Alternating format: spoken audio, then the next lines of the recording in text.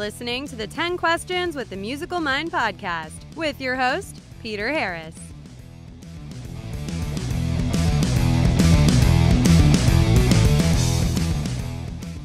Hey everyone, welcome back to 10 Questions with the Musical Mind. Peter Harris here. This week we are going to welcome on board veteran drummer Brian Tichy. Brian, of course, has been a drummer for tons of legendary acts, including Whitesnake, Billy Idol, Foreigner, Ozzy Osbourne, Sass Jordan, you name it. He's been in a ton of bands, both touring and recording. And now it's his turn to start his own project, so he has the forthcoming band Silverthorne getting ready to head out the gates. He has already posted some snippets on social media, and the stuff sounds great.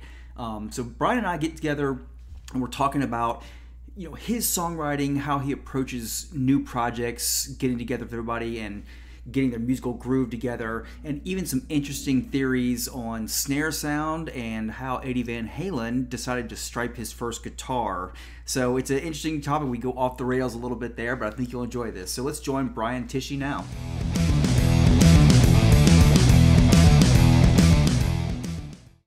Pete, Hey, Brian. how are you? Good. How are you today? Good. How are things going in Japan? oh, it's cool. Yeah, it's uh, it's all going, it's going, uh, you know, going totally fine, and uh, been here for a while. It's a total of almost four months here, nonstop. You know, Wow. so uh, never done uh, anything tour wise, being away from home this long. So I wasn't sure how I'd feel like halfway through after a couple months. But you know, we're pretty busy, but we have time off in between. So you know, we have uh, these uh, apartments we keep in Tokyo that uh, we always come back to the same, you know, the same exact apartment. So it's kind of your place the whole time, which That's makes, cool. really makes it a lot easier. Yeah, Yeah, definitely. Because I imagine uh, touring stateside, it's you know people are like, oh, you get to travel country. Like, no, you get to stay in identical Ramada inns in every state. It's Yeah, yeah. It, I mean, it de- definitely makes a difference when you're away from home. At least you have a have your own place you always come back to with all your stuff in it. You know. yeah, that's pretty nice. Um, so I want to touch base first off. You got uh, "Tear the Sky Wide Open" due out soon, right? Yeah, I think uh, August 12th is when the single comes out, so that's not too far away. And we just got the uh, video edited, the final video, so that's ready to go. And I think we're figuring out today if we release it a little bit before the single is uh, released or put it all out the same same day. So we're, we're figuring that out today. Gotcha, gotcha. And I should, uh, for our listeners out there who aren't already aware, I should mention that we're talking about his new project, Silverthorne. And h- Yep. how did this get all get together? What was the genesis of the project? How did you get everybody together? Um, yeah, that's uh, being that this is a, a brand new band and uh, nobody knows about it and nobody knows, you know, everything's unknown and brand new. Um, it's it's an interesting story that eventually, when you know we are, you know, established and out there and people are aware of us, the story story will fade away. But now that it's the beginning, it's a it's it is pretty pretty darn interesting because I've never. Um, been involved with uh, something that ends up like this. I've never been in this type of situation. So, anyhow, I'll uh, try to not be too long-winded about it. But uh, a, a few years ago, I was working on a project, a completely new project with the uh, the guys from Stone Temple Pilots, Robert and Dean DeLeo, the, Mhm. the brothers, the, the guitarist and bass player Right. we had been friends for a while, and they STP Stone Temple Pilots weren't um, active at the time. You know, they, they were of course going to ultimately try and find a singer, Right. but they weren't sure if that would happen because it's a tall order, and I guess they had tried a lot, tried to find the right guy, and and uh, it just wasn't happening at the moment. So we had music we recorded, and we were also talking about but we had to find a singer. We had, you know, the three of us with no singing. So uh, they, they were trying to do two things at once. Hopefully, you know, in their mind, if they, it would be great if they found a STP singer, but it, but if we came across a guy that worked for what we were doing, that that would be uh, awesome as well. So uh, they they held some auditions uh, for, for STP and contacted me the you know the day after these auditions and said, "Man, check this out. I think we found our guy." They played me a sent me a little recording of one of the singers, and he just had an amazing voice, but it was its own style and not really maybe something you'd associate with an STP style mm-hmm. vocal. You know what I mean? So sure. yeah, could he sing the stuff? Yes, but he, you know, could he sing STP? Yes, but he just had a lot more going on, and they wanted to use him for our project. And his name was Pete Pete Shoulder. So they uh, they asked Pete if he wanted to get involved with what we were doing. So he said yeah, and we basically soon after that, a few months later, made a record. Uh, which I think at the time all of us thought this is what we're going to do. We're going to do this record and then you know get a deal, get it together, and put it out the next year and become a a real band. You know, um, that's why we're all putting the time in to make this record. You know, well, time went on, and ultimately they did find uh, a new singer for STP, and made the decision to move forward with with with STP. So that would now be about two years ago. Right. Uh, so of course we were bummed and you know it was talked about like okay down the road we'll do this but you know we we understood STP's their sure. their baby. It's their their life's work which they've been very successful with. And uh, you know I I don't have that. So I can only imagine you know what it feels like to you know have decades go by and, and have a new opportunity for your this band that you created a long time ago to, to continue. Sure uh, and, and, there's a guarantee there. You know what I mean? There's success there. There's hits. There's fans waiting. So it's kind of you know there's a certain amount of stuff built into that project already that's going to work. You know, um, with us it would have been a brand new thing and maybe a lot more chances taken. So so for them it, it made sense to to move forward with with STP. Anyhow, like I said, that was uh, when they told us that was a couple years ago. So Pete and I talked a little while after that, and I said, "Why don't you?"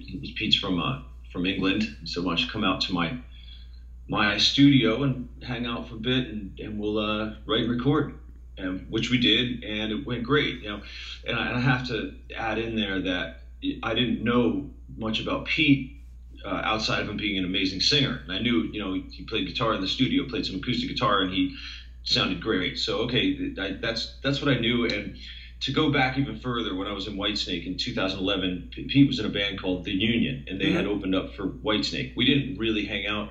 We met, but we didn't really hang much. You know, our schedules are different on the road and all that. But I do remember going into the venues and you know I'd hear them opening up, and I was like, man, that singer's killer. You know, but it was just like a little note in the back of my head, but I didn't, you know, think much of it in the middle of a Whitesnake tour. sure. Know? So it was interesting that we came together again years later and ended up being in a band together.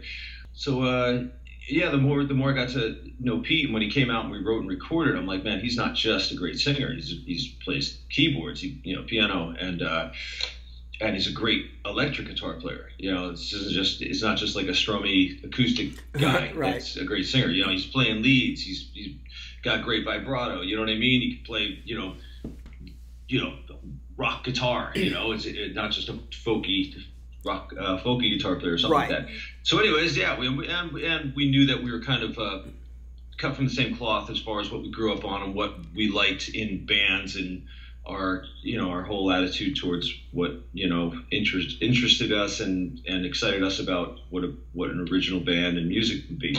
So we hit it off, and that was that. And last year sort of came and went with this music we wrote, and we had some some newer manager guys that we uh, worked with a little bit, but they they just just didn't have it together enough to to keep it keep it rolling as managers. They kind of had to go back to their other projects or you know their other jobs. You know, it was just uh, something that didn't work out.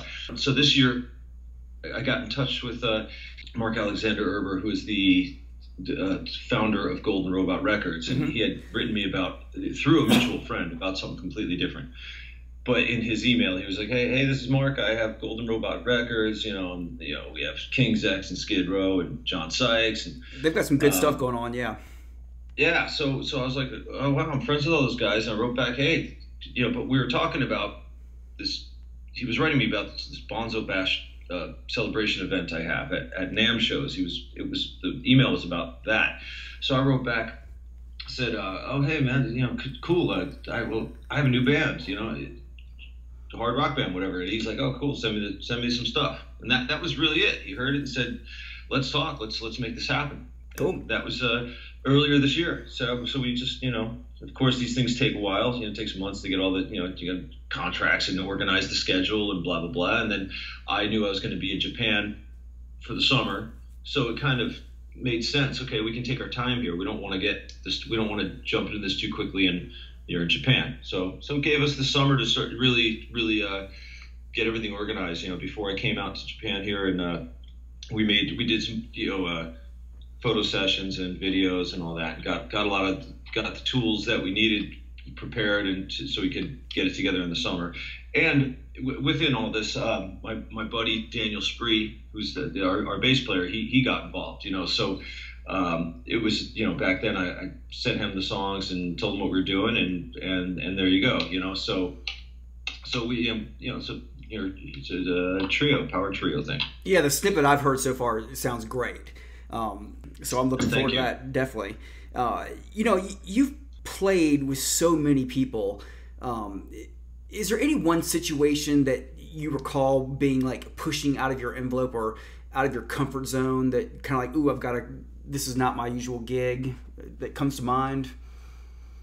Uh, fortunately and, and unfortunately, no, because those situations will, you know, you'll have to see yourself rising up to the occasion, right? Right. You know, but, but, uh, no, the only, fortunately I've been involved in, you know, stuff that was within what I can handle, I guess. You know, it's more about the workload. It's more about like how much time do you have to prepare something, or uh, you know, how many things are you doing at once? Yeah, you do you a know, lot. yeah.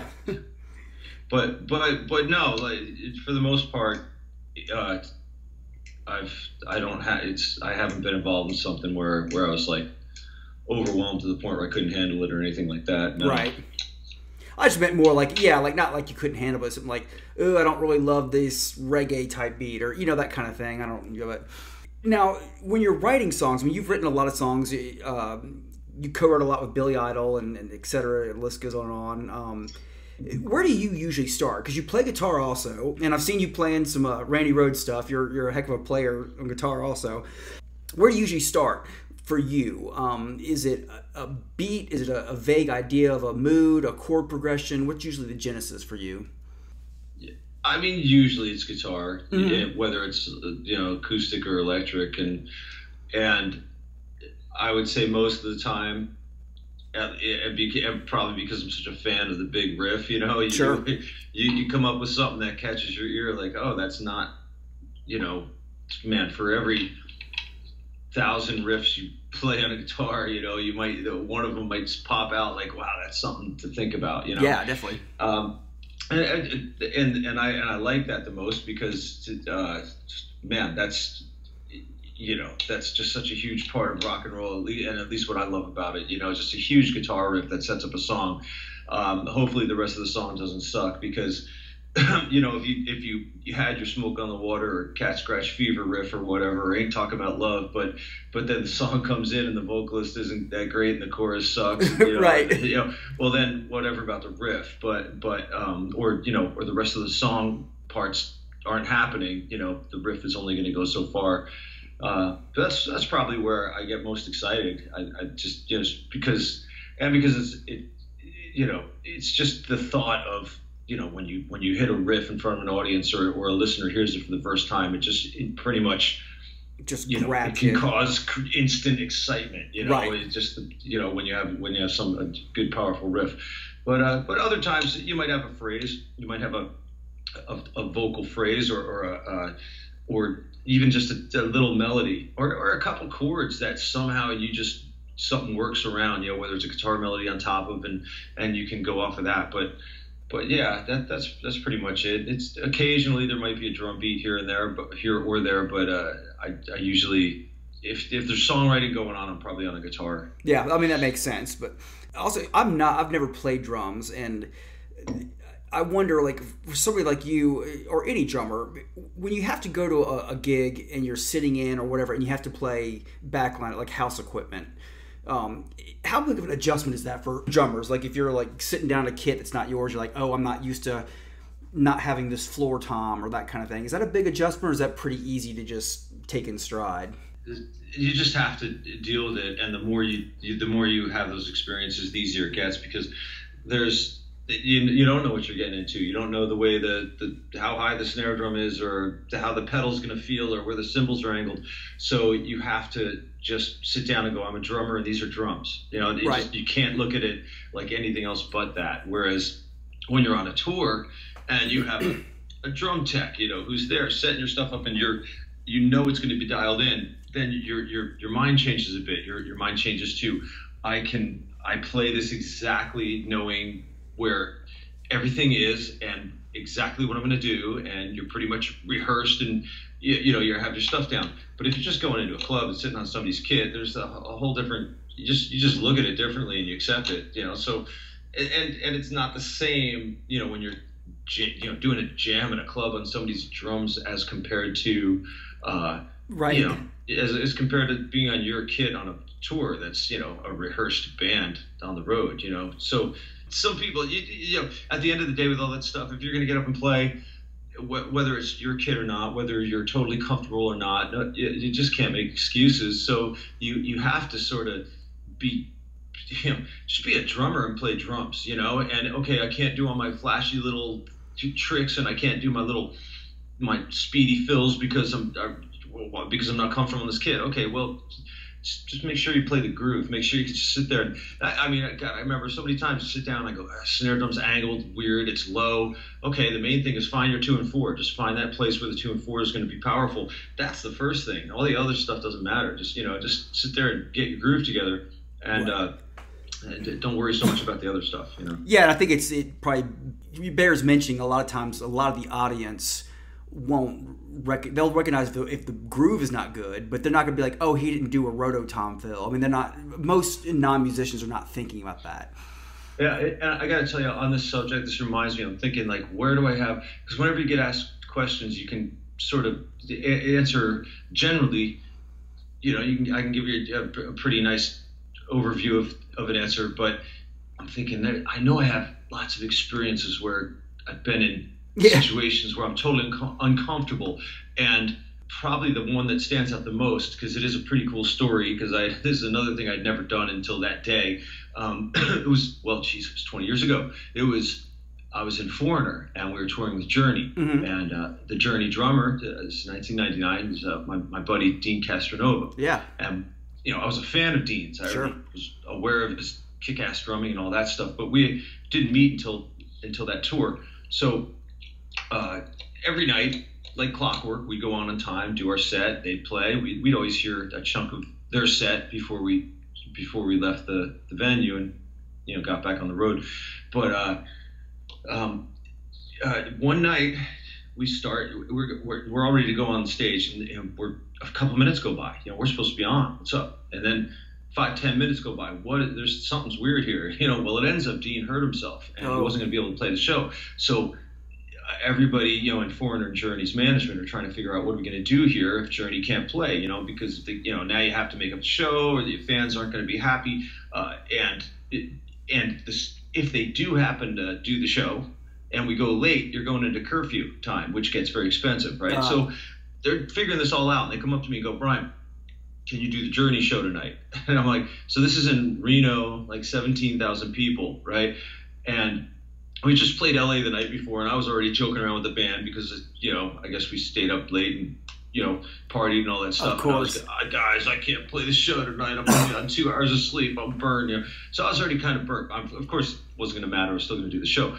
But they go, yeah, can you do it? And I, I'm thinking, okay, well, I know a bunch of Journey songs, and I've heard a bunch of their set. You know, when we're when we finish and they start playing, but man, just to get on stage and do that, like no no preparation. like fucking a man. That's that's that's you know that's a lot of pressure. That is pressure. So, yeah, so this is literally we're we're supposed to be on stage playing foreigner music as we speak. So I say yes, then they go, they go, uh, okay, which what kit do you want to use, your kit or Dean's? And I'm like, well, I'd rather use mine, but I don't. That's just going to draw way too much attention to the right. the oddness of ha- having a foreigner logo on a on a journey stage. Like I don't. That mean everybody's going to be staring at the drummer even more. Like what's going on here? Right. So I said I'll, I'll play Dean's kit. you know. And now I had a single kit, kind of Bonham set up, the smaller kit. Dean had double bass, bunch of toms, tons of cymbals, you know, and I'd never played his kit. I'd watched him, seen it, you know, walked by his kit, but I'd never sit down, sat down and played his kit. So I do the the Foreigner show. I get off stage and they're literally rushing me into their backstage. Come on, come on, get here.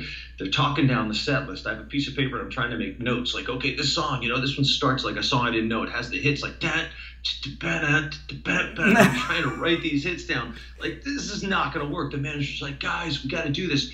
So they're like, oh, okay, we'll cut this song, we'll cut that song. We can do this. Okay, you know, Stone in Love. All right, you, you know, you know, uh, Separate Ways. Yeah. Okay, you're going to be playing to a click track. The click track's fed to you from Jonathan Cain. You hear Jonathan's voice pre-recorded saying the title of the song and counting you in, and you count the band in. So I'm like, okay, this this is totally like like just this is being told to me as the manager is you know saying get on stage. So, um, anyways, the the funny end of that little that little meeting before we hit the stage is that I think Neil says, "Okay, we'll, we'll cut Don't Stop Believing." I go, I go, no, no, no, don't cut that one. I go, I learned how to play the drum part from Steve Smith's instructional video. Right. Keep that one in there, man. Right. So, all right, cool, cool. So we, we go on stage and and the first thing I hear is uh, just Jonathan Cain's pre-recorded voice going, you know, separate ways. One, two, and I click the band in, right? And and we're off. And okay, that song, I hear him do it every night. I know the song. And, and then in the middle, there's a, a big Steve Smith bill in one of the breaks where he goes like, yeah, you know. Well, Dean did it a little differently in using a, his his double kicks, and I'd seen him do it. So I'm like, okay, I'll just do what he does. Like I won't, I'll do it the way I watched Dean do it. Um, and that was the first time I touched his bass drum pedals at the same time, and mine were tight and his were loose. So I like almost fell over the pedals the way oh, I was no. just not prepared to be balanced, and I totally rushed the fill, played over the click, and it was to me it was an uncomfortable train wreck. Like right. That little that one bar of drum fill. You know, it, it, it didn't screw the band up. I just ended early and felt like way off balance with the whole thing. But that was a quick mental uh, mental note. Okay, Dean's pedals are way looser than mine. I got to adjust that. But you know, anyways, it ended up, you know, I did the show and, and it went okay. There was there were definitely a couple a couple train wrecks, but man, if there was ever a time you had to That's high pressure.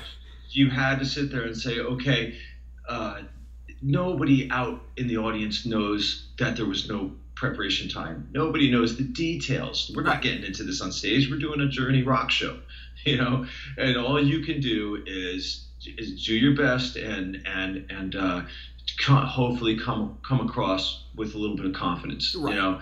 And uh, yeah, so that was still uh, there. I don't think I've ever had any kind of pressure like that because even if they said on a day off, "Hey Brian, Dean hurt himself. Can you play tomorrow?" If you gave me that, just that one night and day, you know what I mean? Right. That shade. Even if you called me at ten in the morning and said we're playing tonight, you know, and I had the afternoon, it's a whole huge, huge difference. Sure. Huge difference. You could mentally wrap yourself around it and run through the set list and be like, okay, here's the spots I need to familiarize myself with. Yeah, that's. But you know what? A lot of people don't know is that if the singer had gotten sick, um, Dean could have easily filled in for the singer. He has a tremendous voice.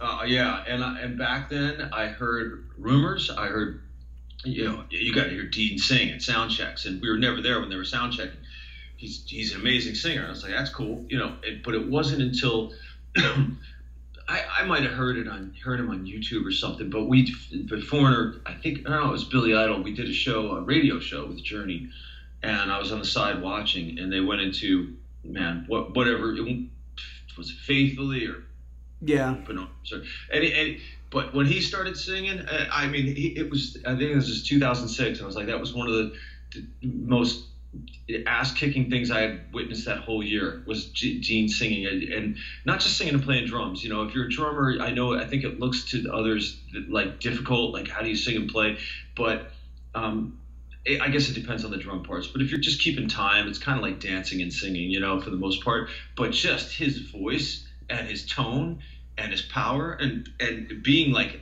you know virtually unknown as a singer and, and pulling off Steve Perry was completely insane. Yeah, yeah, he's he is a he is a just he's just one of those guys. You know, I, I've never talked to him about like when did you you know did you practice singing? Is this something that you know? I have a feeling he's just one of those guys that had a, a natural relative pitch and and a natural ability to sing just built in like a you know one of, one of my daughters has that just just she's just got pitch and the ability to nail notes and just get it you know and her tone is there without even trying you That's know, awesome. just, some people have that you know so but yeah he's he's amazing Yeah, he's a great singer. Who are some drummers whose snare tone you really like? oh um, okay that's easy I, I love this we could have had a whole Yeah, I know. a whole conversation on that alone and I would have been fine let's do one hour on snare tone Oh, you could But, get me. uh, I mean, I, yeah. if I could ever talk to him, I've talked to people who've known him and stuff. I'm always like, yeah, what about Bill Bruford's snare tone, like on Hell's Bells, and just like that just fascinates me. But go ahead. On, did you say Bill Bruford on Hell's Bells? yeah, the song Hell's Bells off One of a Kind. Oh, oh, okay, okay. I, of course, I I went to Phil Rudd and he's, No, no, no, no, no, no. Yeah, it's a yeah, totally different, totally different Hell's Oh, Bells. oh no, see, but Bruford's okay. He's in my he's in the he's in the list, and it starts at roundabout, and it goes to you know pretty much it's just Bruford. But I mean, for me as a kid, it was it was fragile, hmm close to the edge, and and then discipline from uh, King Chris King Crimson. Yeah, but just just oh my that's it's just yeah man it's got it it's every it just blows me away to this day i'll just put a some a track on from discipline just to just to hear a snare real quick you know Yeah. i absolutely love it so so yeah it's it's it's bonham alex van halen yeah. bruford um, michael Derosier from heart hmm uh, uh, and uh, okay, then then I would I would have to throw in um, Jerry Shirley from Humble Pie. I, Oh, okay. I it's a serious snare sound, and uh, and then I have to throw in a, a, a late '70s era Kiss for Peter Criss. There's a, there's a Kiss Alive 2, Mhm. Rock and Roll Over, Half a Love Gun, Lo- Love Gun. Uh, His snare is phenomenal. If just just just go put on a track from Kiss Alive 2. It, it's just an amazing, beautiful sounding snare drum. Um, so those those are my tops. And God, who am I who who am I leaving out as far as um, others? I mean, those are the guys for me right there. Sure. The, You you know, know, yeah, Bonham and Halen, Bruford, Shirley, uh, Peter Criss, and and Derosier. Yeah. There's a, a old line. Uh, it's you may well know it, but uh, in an old interview with Eddie Van Halen, he said that people always get it wrong. He said when I was talking about the brown sound, I was originally for, referring to Alex's snare tone.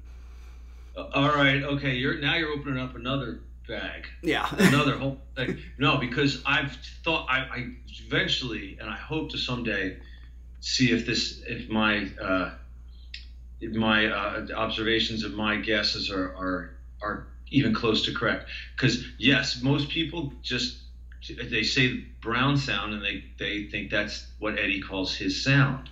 But yeah, he it was the brown sound was Alex's snare sound. Right. Right. yep, Now, to go one step further, and you go back. Well, there was some point in time where Eddie made this note in his head, like Alex has this snare sound that, to me, is sounds like the Brown sound. That's that's that's Eddie, right? Right. So he made a note of this, and then you look at Alex back in the day, and okay, what's Alex's what Al, what is Alex doing to get his snare tone? Like, what's he doing differently? Is there anything unique about what he's doing to his snare drum? And there's there's a lot of gaffer tape involved, right? okay, Okay, there's there's a lot of angles. Like th- th- there's you see pictures. Sometimes it's underneath the top head, on the bottom of the top head, or uh, it's on the top, and it's angled in sort of random striped. One one might look like a triangle. One might have you know five separate strips of gaffer tape, it, and it just kind of sort of co- covering the head. But I don't know if there's necessarily a rhyme or reason to why it's you know posi- you know huh? put put on that way, right? But m- what I'm getting at is we're looking at a snare drum head with striped with gaffer tape. Do you see where I'm going? Sure. Striped with Yep. gaffer tape. Does this Tie in. Eddie Right, go to his first black and white striped guitar? huh? You know, it's and it's and that's that's Come on. pretty damn interesting. And you know, it's hard to tell. It's so frustrating because it, you know, it, one of my favorite musicians of all time, but Eddie is the king of the stock BS answers in interviews for the last 35 years. He gives the same responses over and over again, and you don't yeah. know you know what's really you, you wonder if he even stops and thinks like what you know he's like oh I don't know what caused me to strike the guitar like does he even stop and think about it? Does he just spit out the same answer he's always said? Um, has well, has he answered why he striped it? Well, somebody asked him in some interview, and he said, "Yeah, I don't really know why. It just came to me." And so it's hard to say. Well, that's know. what I've read. That's that's what I've read. It's just like that's maybe the only thing I've read. It just came to me, but I'm like, come on, wait, you can't.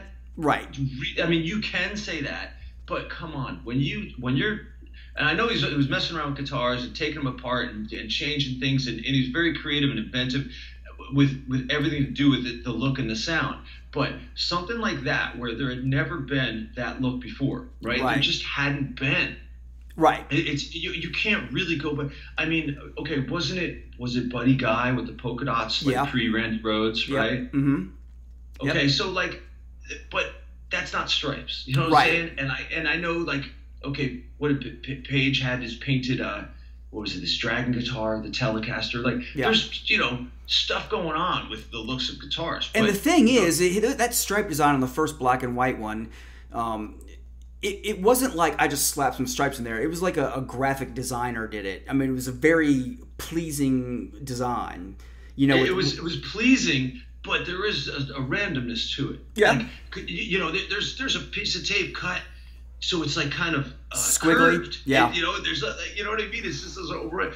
But yeah, it wasn't pleasing. Yeah, because it, it, I don't know anybody that said they didn't love the look of his striped guitars. Like it, I've never met anybody, you know. So and I'm going, come on, black. And it, yeah. it wasn't until a few years ago when I was just like trying to tape up a snare drum in this similar way, and I was just like, I'm gonna just mimic it and see what happens, you know, which there's more to it. I wish I wish I could say I got the Alex tone because if I did, I'd use it all the time. If like you that. ever get but, some kind of insider information from Alex or a drum tech in the industry or something, and uh, you got to let me know on that because that's an interesting theory. No, no, I've just heard I've heard different different things, but then it all comes around to yeah, but it he's played different snares throughout his career and he still gets the same sound. So it's Alex. And I don't think he's using gaff tape now like he used to, but he's still getting an insane snare sound. So, um, but but you know his snare didn't that that color at least to, at least to me didn't come out that that what we what I associate with Alex's sound didn't really come out until Fair Warning. When you like if you put right. on the first three records, I mean it's Alex is awesome and there's quality there's there's qualities of it there or characteristics, but that full snare drum sound it to me didn't come out until um, you know, right. until fair warning. And and then after that, then Diver Down. If you listen to Snare on Diver Down, oh my God, it went to the next level. Yep. Then you get to 1984, and you have Hot for Teacher, I'll Wait. Uh, oh my God, you know, Drop Dead Legs, his snares, it's, it's insane. So they they they fit whatever whatever. There's also something going on in the studio. They know what they're doing. Like there's you know, right. you, you have a mic on a snare drum you can EQ it. There's, you know, you can compress. There's like so many things you can do to bring out you know sounds with in, inside the snare. Like if you you know tune a snare as a drummer, you're sit, you're sitting on on top of the snare drum. Your your ears are getting that snare drum tuned how you want to hear it right above it. You're not hearing it across the room. You're not hearing True. it with the mic underneath it, or you're not even hearing it as an overhead. You know, you're hearing it you with your stereo version, you know, with your two ears a couple feet away from the snare, right above it, and that's where you that's your what judgment, you think your right. snare drum should sound like, right? Right. And then you go into the control room when somebody puts a mic on, and you go, man, that's so not bringing out what the snare drum sounds like to me, and and then there's that process of trying to figure out how to get that snare to sound the way you hear it and the way you tuned it. Well, it's like hearing your voice recorded. done. right. What's that? It's like hearing your voice recorded. You're used to hearing it the way it sounds in your head, not out of mm-hmm. a microphone. But the, uh, but yeah, the now this is a random question, but I think you, you'll get it. So Alex is like drums. Say the beginning of "Push Comes to Shove," talking about fair warning. Very beginning of "Push Comes to Shove," doo doo doo doo. You know, then he breaks into that that beat. Is that room echo on those two hits, or is that added echo? It sounds like just room ambience to me. Can you? Uh, no, you're talking. You're talking about dirty movies. Oh, it is dirty movies. Yeah, but I think um, I don't think they recorded those drums in a big room, and uh, I think that's there's some verb added on. Yeah. Added added onto that record. Um, even when it sounds kind of dry, you know, for the most part, like that's definitely not a huge reverb sound on on that record. There's not like a, a, huge verb going on, but but there is there is something there, and I, I think they just put some on, you know. I and I don't know off the top of my head where where that record was recorded, but I, I want to say Sunset Sound. think it was in a big room. I, I don't I don't think so. Yeah, I know the first couple ones were at Sunset Sound, but I don't know about Fair Warning. Um, yeah, the uh, this is off topic, but I've got. Uh, I was interviewing somebody last year, and we were in his studio, and he had the the master tapes from Van Halen one, and you can hear like he was putting out great things. He's like, okay, listen here. He's listening. He showed me the the bass track from Run of the Devil.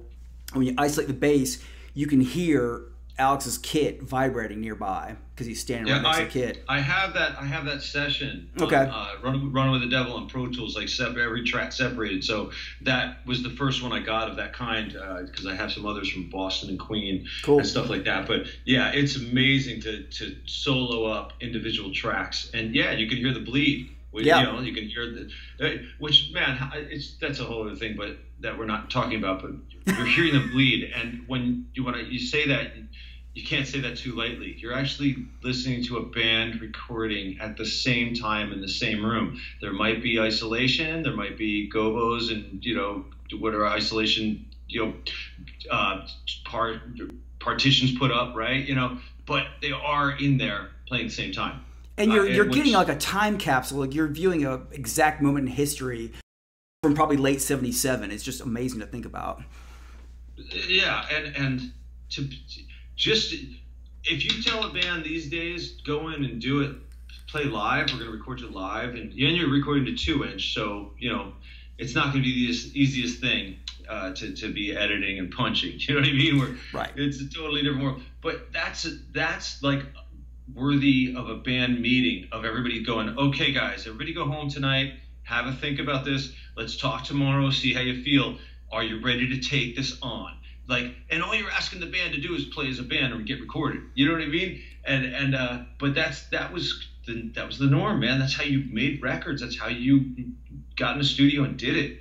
You know, and now it's like I mean, and I see the advantages to not doing that. I mean, there's so many, Sure. you know, sensible reasons not to. But, but man, it, it's, it's in my mind. I mean, it, it, it sort of separates the the, the, the you know the men from the babies. Man. Sure. Like those, those and at that, while they were doing that, they're creating their own groove. They're creating their own sounds. It was man, and you put those records on, and and I still to this day, and I'll, I'll probably die saying this, man. That that, that the '60s were killer, and you know there's great stuff in the '80s and '90s and all that, but the '70s when when everything was just get, when technology, studio technology, and live technology was Right. really hitting new levels.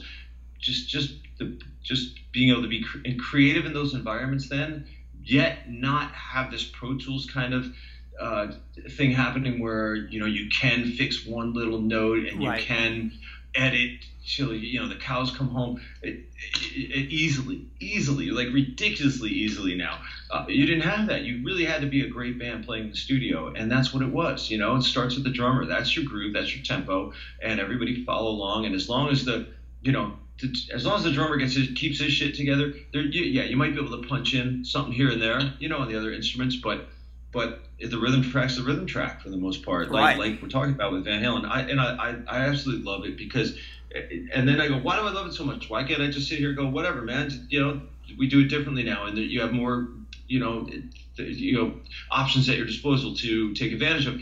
But it's like, yeah, but when you start playing and you're excited about an instrument, you get better at your instrument. You put those hours in, those ridiculous amounts of hours, and, and you're dreaming and you're listening to your favorite Right. musicians and bands and you're go and and and the illusion is that, you know I have to sound that good. And you're not knowing, you know, what goes on in a studio as a kid learning an instrument. You're not Right. knowing, you don't know what goes on in, in you know that that kind of thing, that world. But but you're that's what you're reaching for, right? So you always want to be your best, and and you want to be proud of what of all the time you put into your instrument.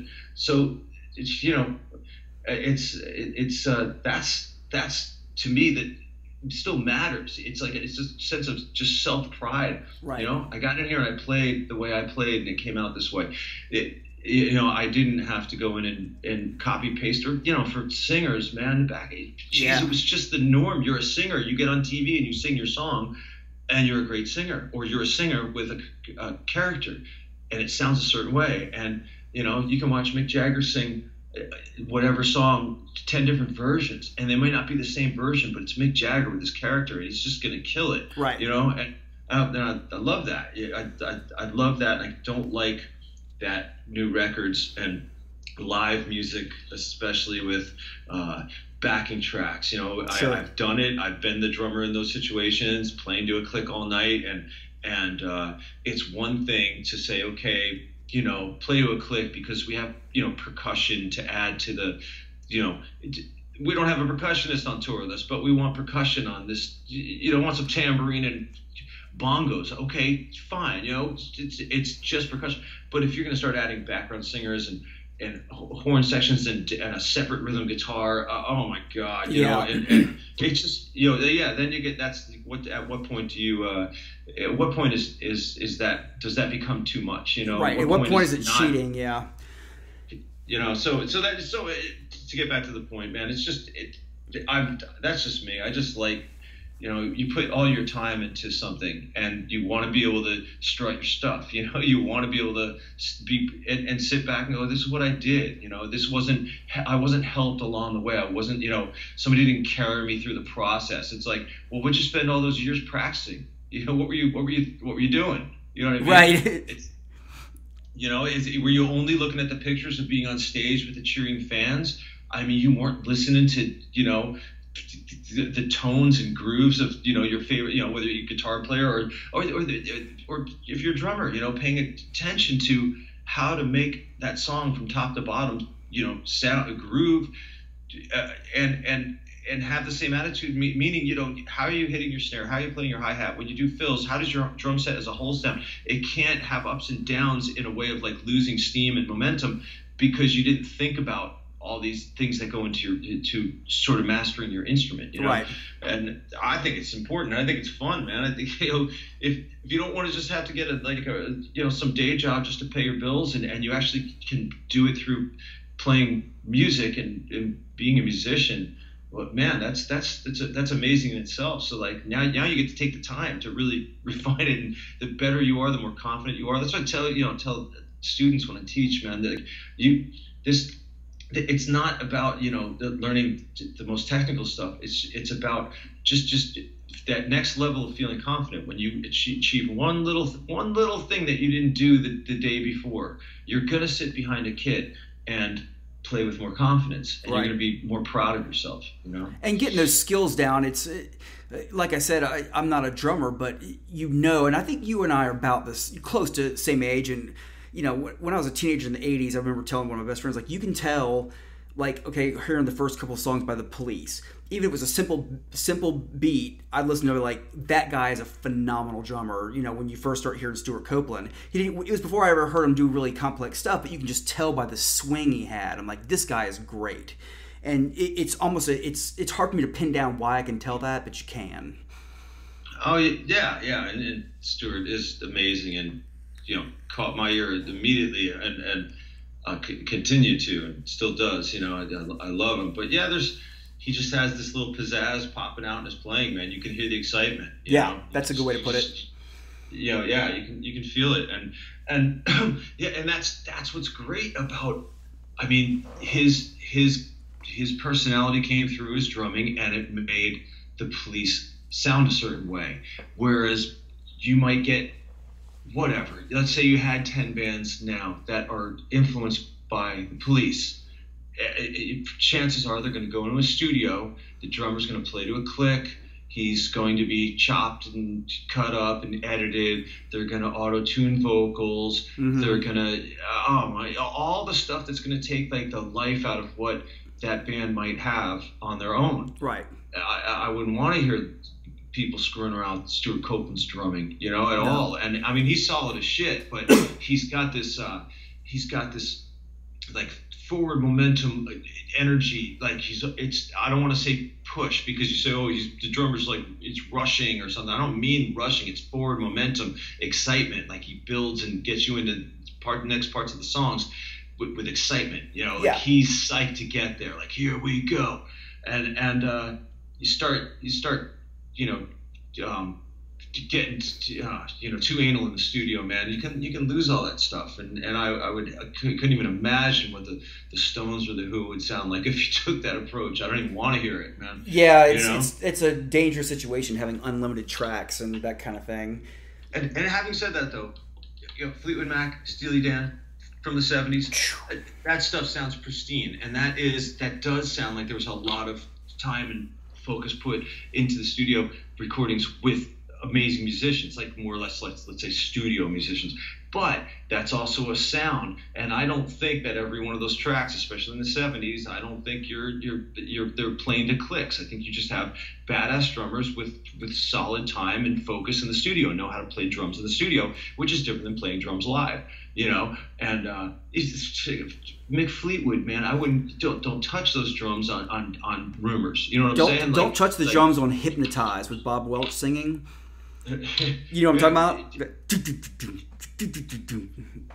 Just yeah, and, and but I think it like just they made a real pristine production, you know, quality to their records back back then. You know, that sounded nothing like the Who. You know, it, it, it definitely was more radio and studio friendly, right? But Sure. but man, it's what a what a sound, what a sound. But it still sounded only like Fleetwood Mac. You know, of course you have, you know, whatever Steve, Steve Stevie Nicks is. You know her her vocal tone, her sound is already that's so much of Fleetwood Mac at the time, and as is Lindsey and stuff. But just that, just the, the production of the, them in the studio, it sounded it sounded nothing like so many other bands back then, but but it was still Fleetwood Mac. It wasn't like they were chopped up in the studio by a producer that had to get guest musicians in or ghost musicians to cover for what the band couldn't do, or you know all that junk, man. I, I yeah, there's, there's nothing exciting about that to me. Is is No. is, is, uh, is like the, so many rock records now sound the same, but and and the, the tones because we figured out, you know, you can put a regular sounding drum set in a, in a studio, and and the drummer might not. Uh, he maybe he plays fine, but he, there's not, a, you know, there's just nothing maybe unique about his his playing or his sound or whatever, or the drum set itself or the recording. But man, you can get that kit sounding amazing by the end of the of the you know the, production and mixing. You know what I mean? And, and amazing meaning in a current way, you know. But at the end of those sessions and records, you have most of the drum sound sounding the same. Whether it's you know, and a lot of it's to do with with uh, samples and stuff, and Right. just oh god, man. But like as a musician, you, you plug in your guitar. Get you dial in a sound and you go, that's it. I love that. I'm really happy with that. Well, do you want to hear that on the record, just like a drummer, man. Okay, that's my snare drum. Those, are, that's my kick drum. Those are my toms.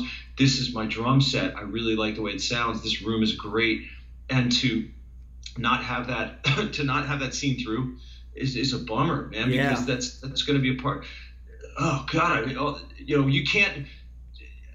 I don't know. At least I, I don't talk about modern recordings and production with any with the same excitement as I, as I talk about anything from the past because some of it, so much of it, is now done similarly with similar techniques and and tools. You know, to get the same sounding end result. And you Right. know, I don't know. Yeah, I they, don't- you don't. They're not forced to do the innovation like recording bottom at the bottom of a stairwell and that kind of thing. They don't. They don't have to because they can coax those sounds in the studio.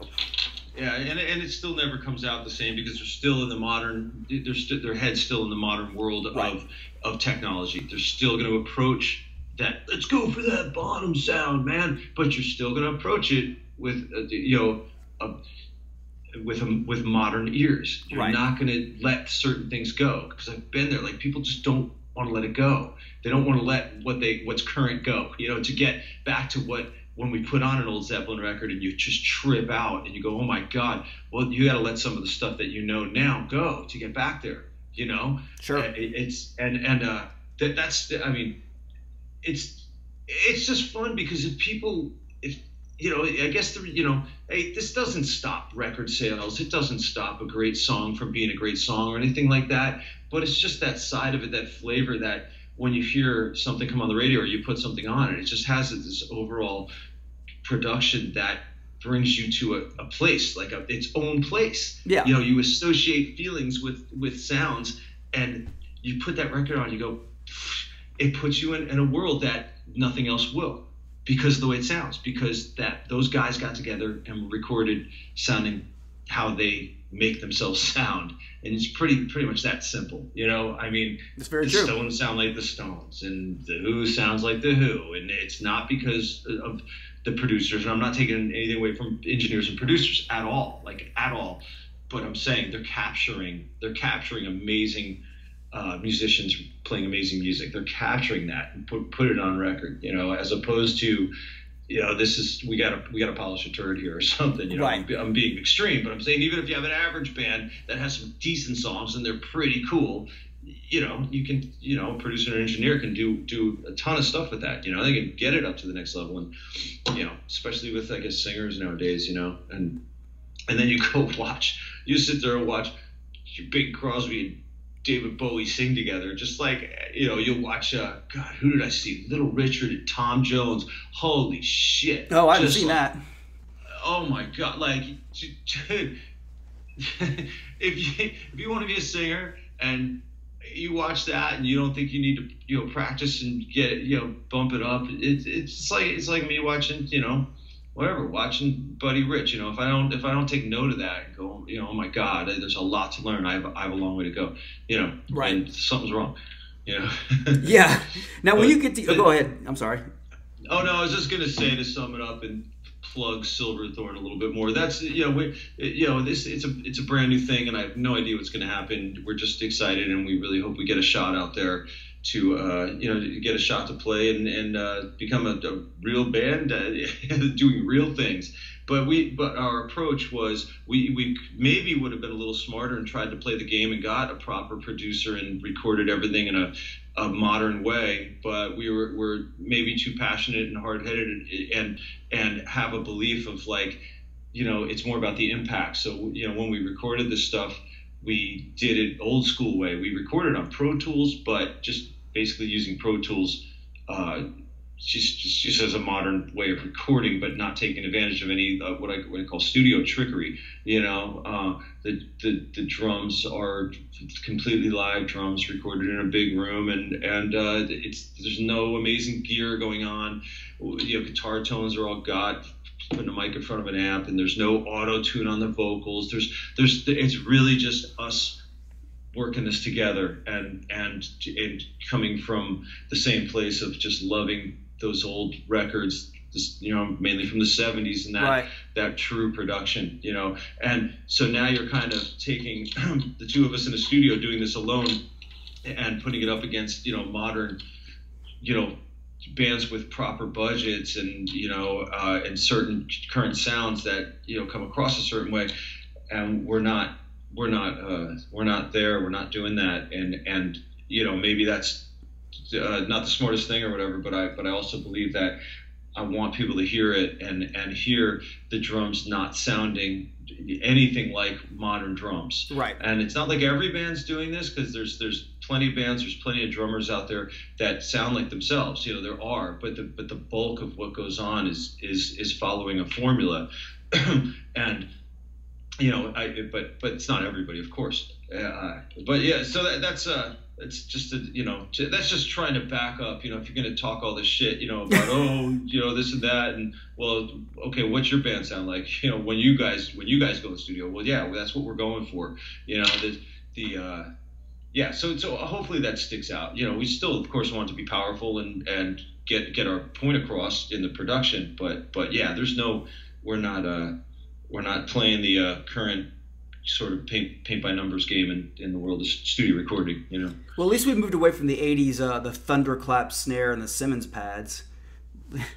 yeah, I, everybody got excited with, with Verb, and, and, and the guy that did it best was, was Phil Collins. You know, maybe maybe what they did, you know, with Power Station with Tony Thompson, that was pretty, that was groundbreaking sounding shit. You know, Mhm. and uh, but man, it got overblown. Like we're just, you could have had a really ass kicking rock record, and you decided to put insane amounts of Verb on the snare and the whole mix, and it's got, it just, it really it pinpoints it, it into a certain time and, and it I don't know, man. Yeah, it's just man, how I can only imagine like they just kept going more verb, more verb, right. more verb, more cowbell.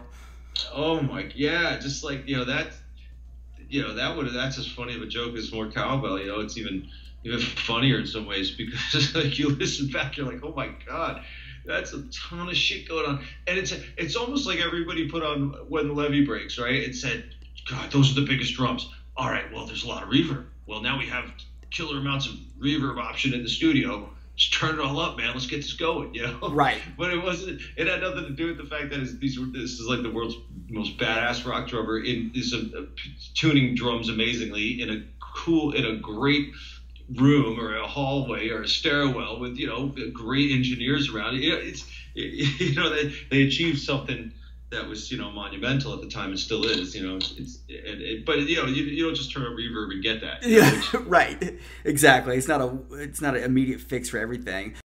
When we got this silverthorne thing going with with golden robot records it was like okay i have this minute this much time before i'm in japan for four months and when i go there and dive into that world of learning you know over two hours of music uh, you know that i've you know I'm familiar with, and uh, but you know I played you know I played on some of it because I've worked with the, the, the B'z. That's the band here. Uh, they're called B'z. I've recorded with them since 1999, so mm-hmm. it's not like I was going to a situation that I didn't know anything about. Uh, but I had to, you know, I had that hanging over my head. I have to show up in Japan ready to play all these songs. We're not going to be sitting around practicing parts. We are running songs. We're running the set the first rehearsal day. You know, so so you know, and, and then with Silverthorne, okay, I have to get all this stuff set up before I get to Japan because as soon as I get there, we're going to two weeks rehearsals and the tour starts. So my I'm going to be dedicated, you know, my mind's going to be there. I have to get this music locked into my head, you know, ready to throw down without thinking live, you know, um, for the for the next few months while I'm here. So now it's cool because we're touring and you know we're we're more we're closer to a machine now. You know when you do a bunch of shows, you know yeah, you know get you're doing. tuned up, yeah. But uh, but yeah, so so when you know so yeah, like you said, time time will fly by. Yeah, you know I have a family and stuff, so when I'm home, you know, we, we you know, kids are in school, we, you know, I'm, you know, you're just doing all that stuff. So you know I'm not really paying attention to what every everybody's everybody else is doing. You know, before you know it, six months goes by. Oh uh, yeah, very much so the uh, well, I hope the uh, if Silverthorne comes to Tennessee, I'll keep an eye out for it and definitely try to make it out yeah. to one of the shows. I'll be looking forward to it. Yeah, so, I hope so. I, I hope uh, that you know that all that touring stuff will we're gonna. You, you're starting off slow, man. Just get get the name out there, get a song out, get the video out, build a following, see if people are into it. You know, see what options come our way and what we can develop. You know, and and so we're we're not expecting anything immediate. All you know, just we're we're totally ready to you know just just be smart about it and and try and have it grow and and see where it can go. You know, it, but without these expectations of oh the single's to come out and shoot to the top of the charts and we're to go out and tour with the biggest bands and you know I mean, it's it's no let's just let's be realistic and and see if we can sustain this you know that's the main thing is i want this to be our band and this is what we do and, and everything else I would do is outside and around this. This is the this is this is the center of my life musically and that's you know that's what I've always wanted. Yeah. It's been a, it's been a blast to play with like bands I grew up on and and and you know have you know artists that you you know you bought their records as a kid learn how to play drums from hire you to be in that band and and you know that's all great and play with you know you know musicians I love and, and you know legends so to speak or whatever. But but you know as a kid I was just I just wanted my own rock band. You know that's that's and uh, you know so and I and I really do think I have it here. I I, I, I know what we can do. I know when given the chance what we're going to be able to uh, you know deliver and uh, so I just want I just want that shot. Yeah, that's awesome. It sounds like you got a good thing going, and yeah, you've you've played with the best, so that's that's definitely bucket list items. But yeah, if you get this going and can have your own brand, and and I hope it takes off for you because uh, I'll be looking forward to hearing the whole thing here shortly. I yeah, hope. yeah, it'll be real soon. You know, we just wanted to come out with that little little snippet, you know, just to show, you know, just just give you that that, that, that little quick earshot of the production and you know a big riff into a you know Pete's vocals in the chorus and yeah and uh, that's you know just give you that little taste. Like, and if if if something in there, you know, grabs you, awesome. You know, if it didn't grab you, chances are the full song isn't going to grab you either. You know yeah, no, I mean? it was so, a, it was a good so that, snippet. You know, that, you know, but that, that's that's how you do it. You know, just give somebody a little taste and go, cool, man. I, I hope I hear more, and and uh, you know, develop it from there. Definitely, definitely. Well, cool.